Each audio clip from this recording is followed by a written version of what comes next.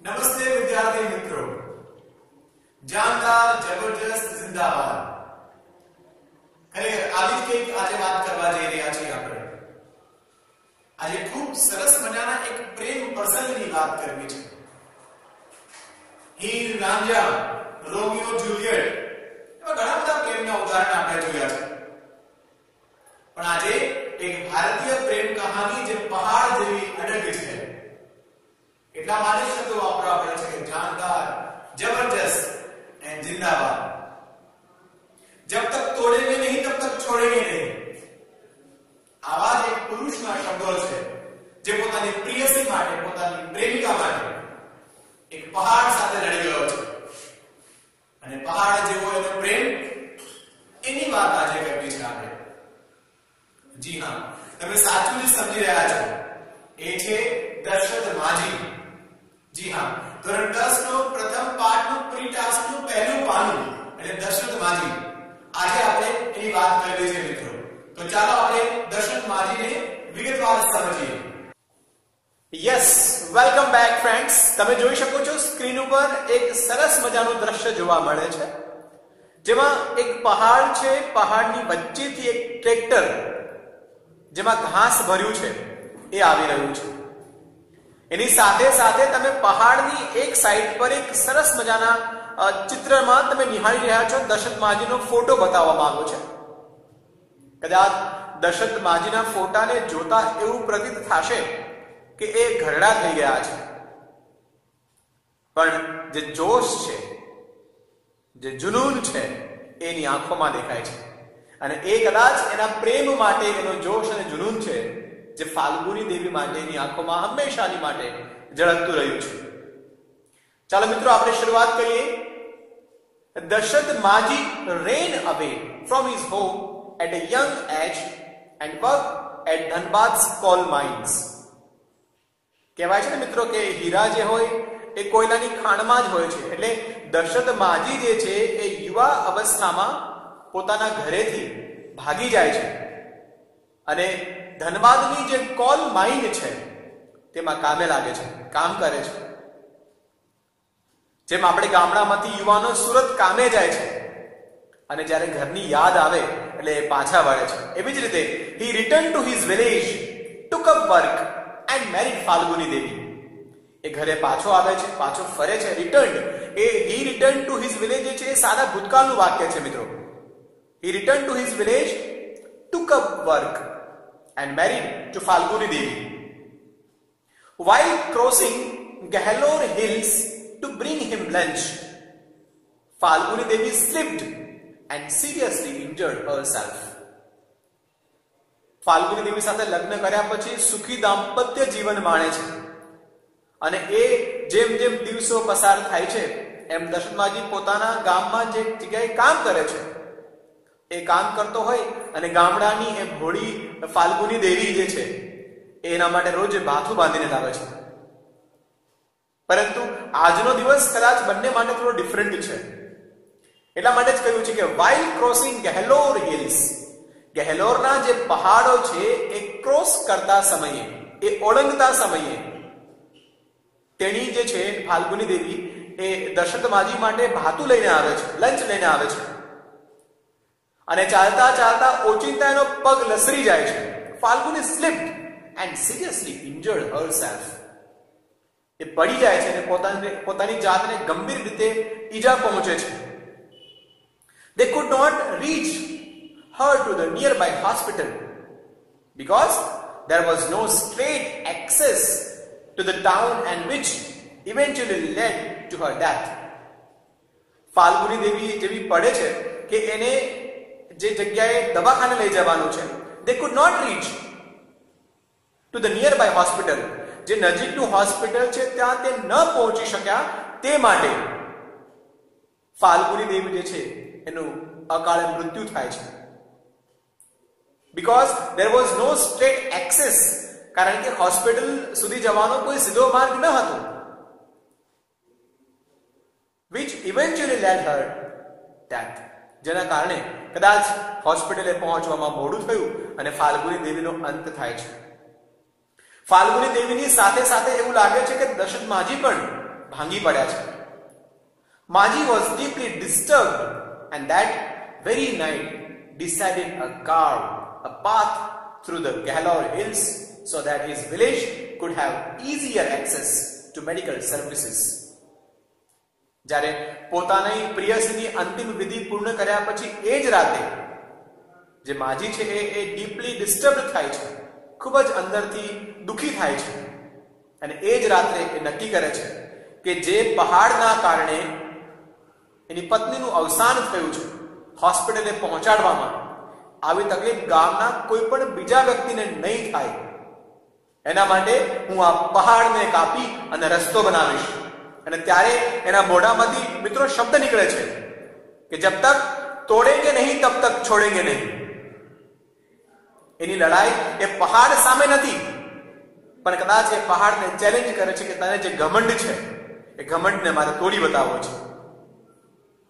અને એ ઘમંડને ચકનાચૂર કરવા માટે he carved path 360 feet long અને જોશમાં અને ફાલ્ગુની દેવીના પ્રેમમાં મિત્રો દશરથ માજી જે છે, એ 360 ફૂટ લાંબો રસ્તો કોતરી કાઢે છે. 25 ફીટ ડીપ 25 ફૂટ ડીપ છે, ઊંડું છે. In places and 30 feet wide to from road through the rocks in Gehlaur hills એ પહાડને ચીરીને રસ્તો બનાવે છે. એ રસ્તો કોઈ સામાન્ય રસ્તો નહીં મિત્રો ત્રણસો ને સાઠ ફૂટ લોંગ લાંબો, પચીસ ફીટ ઊંડો. અને ત્રીસ ફૂટ પહોળો રસ્તો બને છે. એ પથ્થરને કાપી કદાચ પથ્થરને એ કાપીને એ સિદ્ધ કરવા માંગે છે કે મારો પ્રેમ જે છે જેમ શાહજહાં જે છે એ મુમતાજ માટે તાજમહેલ બનાવ્યો હતો એમ આપણા હીરો દશરથ માજી એની પ્રેમિકાની યાદમાં એ પહાડને કાપીને રસ્તો બનાવે છે જેથી કરીને કોઈને આ મુસીબતનો સામનો ન કરવો પડે. And he quoted when I started hammering the hills, people called me a lunatic, but that stilled my determination. જ્યારે એવું કહેવા માંગે છે કે રસ્તો જ્યારે મેં કંડારવાનું શરૂ કર્યું ત્યારે ગામના લોકો જે છે એને ડિસ્કરેજ કરે છે. અને એની ભાષામાં શું કહે છે? અરે અ બબુઆ પગલા ગયો હો કા? પહાડ કો કાટ કે રસ્તા બનાવોગે? તને કે સટિયા ગયે લગતે હો. અને ત્યારે એ માજી એ શબ્દો વિચારે છે. અને એ શબ્દો વિચારીને પછી જ એ એ જે કોટેશન છે કદાચ આવી રીતે ટાકે છે. કે જબ તક તોડેંગે નહીં તબ તક છોડેગે નહીં. And he completed the work in 22 years મિત્રો બાવીસ વર્ષનો લાંબો સમય નાઇન્ટી સિક્સટી ઓગણીસો ને સાહીઠથી લઈને નાઇન્ટી એટી થ્રી ઓગણીસો ને ત્ર્યાસી સુધી એ કાર્યરત રહે છે. એ પહાડને રાત દિવસ કાપે છે. Path reduced the distance between the Atri and Vajiraganj sector of uh, Gaya district. From 55 kilometre to 15 kilometre Gaya ડિસ્ટ્રિક્ટના બે સ્ટેશન વચ્ચેનું જે અંતર છે, એમાં તમે જોઈ શકો છો between the Atri and Wazirganj Atri and વજીરાગંજનું જે અંતર પંચાવન કિલોમીટર હોય છે મિત્રો, એ અંતર પંચાવનથી ઓછું થઈને પંદર કિલોમીટર થઈ જાય છે. અને કદાચ એ જ અંતરના કારણે એને ફાલ્ગુની દેવીને ગુમાવી છે. માજી સે though most villagers taunted me at first, there were quite a few who lent me support, later by giving me food and helping me buy tools. જ્યારે મેં માજી હું કહેવા માંગે છે કે જ્યારે મેં કાર્યની શરૂઆત કરી દો મોસ્ટ ઓફ વિલેજર્સ જ્યારે ગામના ઘણા બધા લોકો એને ટોન્ટ કરે છે અને એને પાગલ કહીને મેડ કહીને એની સાથે જે છે કામ કરવાની બદલે એને સપોર્ટ કરવાની બદલે એને ડિસ્કરેજ કરે છે પણ સાથે સાથે ઘણા એવા પણ હતા જે એવું કહે છે કે લો, અમારો સમય અને અમારું આ હથિયાર, એને હથિયાર પણ આપે છે અને એની સાથે સાથે એને સપોર્ટ પણ કરે છે. એન્ડ વિલેજર્સ જે છે helping by the tools as well અને એ છીણી અને હથોડા એને આપી અને એમાં મદદરૂપ પણ થાય છે. For his achievements Manjhi became popularly known as the mountain man અને આ અદ્ભુત કાર્ય કર્યા પછી માજી, દશરથ માજી જે છે એને એ માઉન્ટેન મેનનું બિરુદ મળે છે.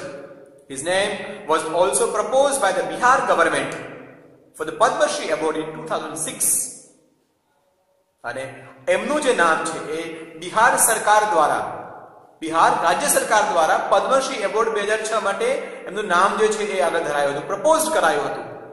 When a movie on his life was announced એના જીવન પર એક ચલચિત્ર પણ બન્યું છે દોસ્તો. વિદ્યાર્થી મિત્રો, એના ઉપર એક પિક્ચર પણ બની છે. માજી ધ માઉન્ટેન મેન કરીને. When a movie on his life was announced Manjhi was on his death bed પરંતુ કદાચ એ મૂવી આવવામાં બહુ મોડું થયું મિત્રો. અને જ્યારે દર્શન માજી જે છે એના પર આ પિક્ચર બનવાની હતી ત્યારે એ એની મરણ પથારી પર હતા. Dead bed He put his thumb impression on an agreement. And gave away exclusive rights to make a film on his life. The mountain man was given a state funeral by the government of Bihar.